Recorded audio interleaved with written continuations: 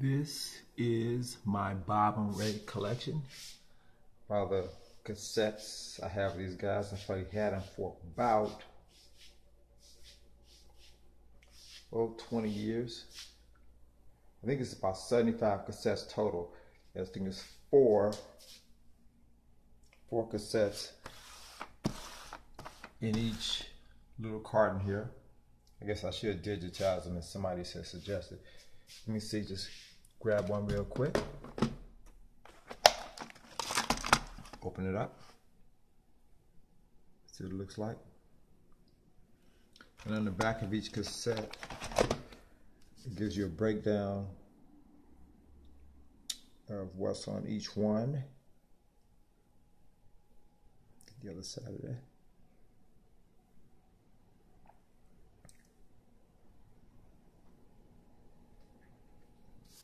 Okay. Plus, I have uh, three CDs of them. Give you closer with this one. Of these. Back a little more. A little closer scan.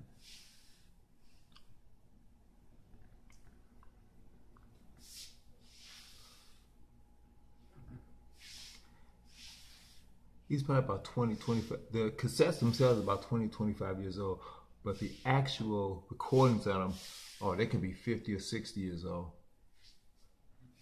Real, real old time radio. Let's get the ones down here.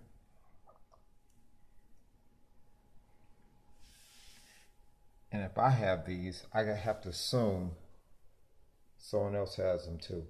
Let me see. if I can take a look at the back of these things.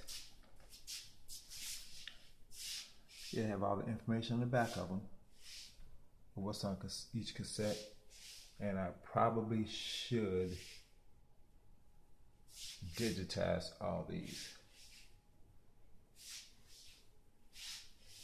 So that's my Bob and Ray collection. Old stuff, funny stuff, my favorite comedy duo of all time. I love old time radio. All right, that's it.